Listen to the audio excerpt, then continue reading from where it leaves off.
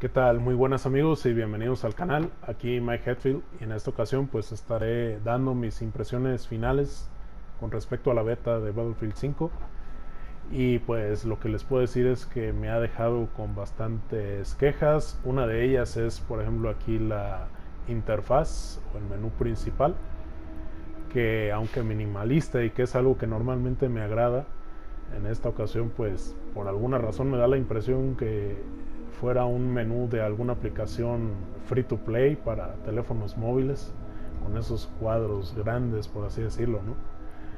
Pero pues más que eso, eh, la falta de contenido que nos deja ver la, la propia beta. Uno de esos detalles es, por ejemplo, aquí tenemos las, las cuatro clases pero eh, a lo que me quiero referir es que aquí ya nos está diciendo de alguna manera, o a mí me da a entender que solo tendremos tres tanques y tres aviones. De manera que pues queda corto de contenido. Ya yendo concretamente aquí a las clases, pues este es el médico. Y pues con sus armas, el nivel de personalización pues va desde las mejoras a las armas. Por ejemplo, este es un árbol, ¿no? De habilidades, por así decirlo, que en los trailers se veía, en teoría, pues nos llamaba la atención, pero que ya en la práctica hay detalles como, por ejemplo, eh, puntería mejorada estacionaria, siendo que este es un subfusil cosa que me parece pues extraño, yo creo que nadie realmente usaría esa y es por eso que me decidí por el lado izquierdo. Eh, por otra parte tenemos la personalización, resulta que la personalización sí puedes eh, cambiar distintos componentes de las armas, pero son meramente estéticos, aparte pues de estos que son las miras que eh, ya sea que te hacen apuntar mejor o, peor, dependiendo tu preferencia. Pero fuera de eso, todas las demás son estéticas, no hacen nada hacia mejorar el desempeño de las armas. Y pues otro detalle es ese, que para conseguir, por ejemplo, esta, que es la que tengo puesta, resulta que hay que desbloquearla primero y después hay que comprarla con el dinero de la del juego, ¿no? Es esa moneda que ven en la parte superior derecha. Y pues es un sistema que se repite, se repite de, por ejemplo, Star Wars Battlefront 2, según sé, y que es un detalle que mucha gente se quejó y que no lo quería, y pues ellos simplemente volvieron a implementarlo. Otro detalle es que son cuatro armas en la beta por clase. Obviamente las vas desbloqueando conforme vas subiendo de rango, por ejemplo, rango médico 10 para esta.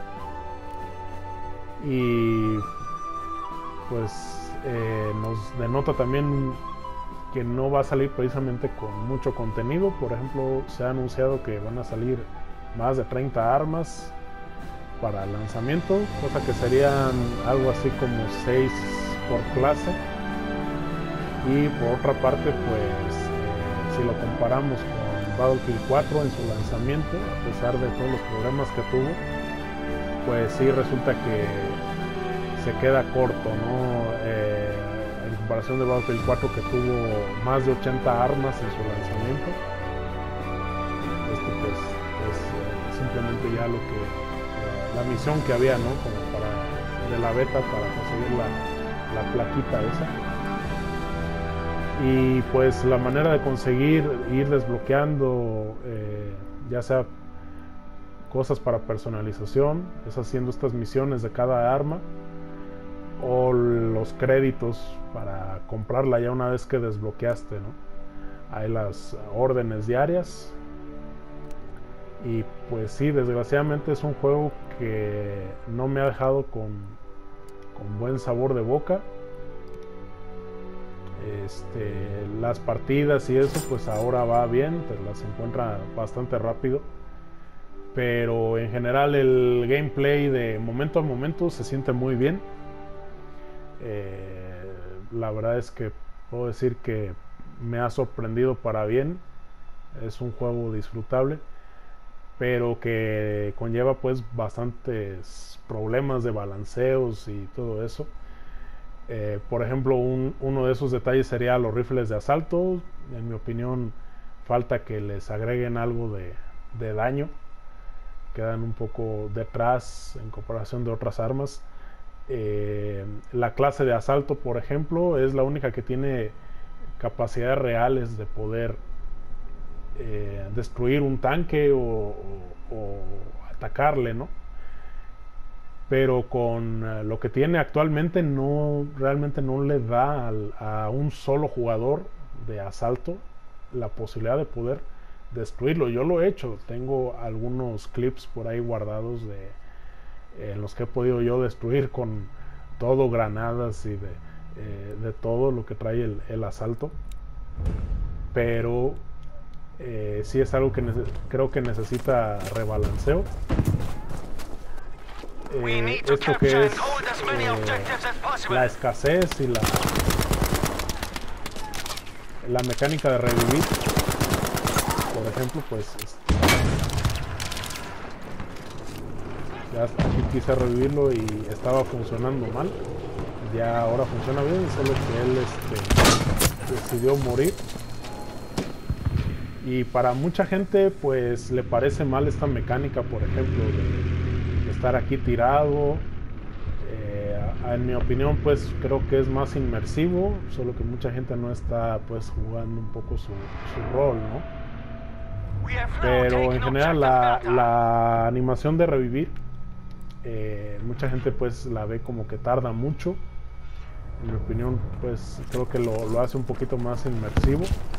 La opción de fortificar, derroto a este. La, mecánica nueva de fortificar pues este, creo que viene muy bien lo hace más para jugar a, tu favor. Y pues en general mm, no es un juego que pueda yo recomendar realmente, eh, a pesar de que ya lo he comprado yo. Pero eh, le veía pues yo un cierto potencial más allá de la polémica en la que se ha visto envuelto, ¿no? y desgraciadamente esta era una oportunidad que podían aprovechar para desmarcarse de esa, de esa situación, pero pues no, no lo hicieron. Eh, hay otra situación que me llama la atención y es que eh, ya jugando puedo decirles que el juego me parece como si estuviese jugando un Call of Duty pero con mapas más pequeños, un par de vehículos por ahí.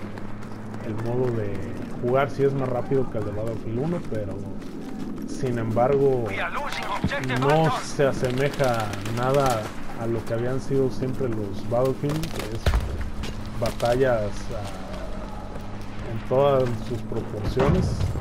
Y me llama la atención que precisamente hoy que estaré subiendo este video, pues resulta que es la beta de, del Battle Royale de Call of Duty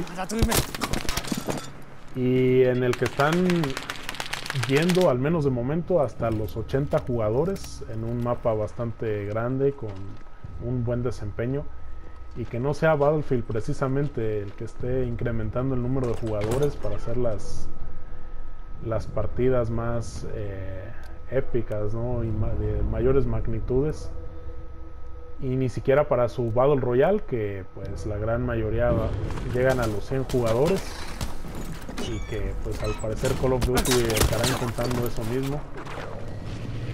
Entonces pues nada amigos, eh, déjenme saber qué piensan ustedes en comentarios. No es un juego que pueda yo recomendarles, al menos de salida. Habrá que ver todo lo del live service y eso. no se oye precisamente bien de momento, pero pero pues que sin duda añadirán contenido de alguna forma, quiero pensar. Y pues, fin amigos, déjenme saber en comentarios si es que ustedes probaron esta beta, qué tal les pareció. Si de plano no les, no les agradó nada. Y pues, en fin, nos vemos en el siguiente. Muchas gracias.